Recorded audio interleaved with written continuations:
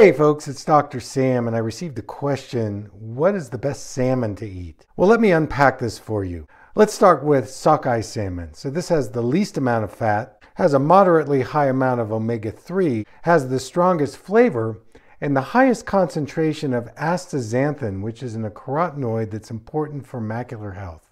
Let's look at king salmon. It has the highest amount of fat and omega 3. It's wild like the sockeye salmon and has a pretty mild flavor.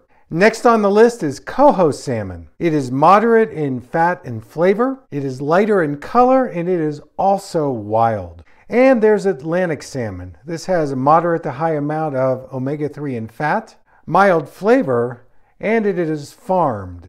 This means it may contain toxins and antibiotics, and it is not environmentally friendly.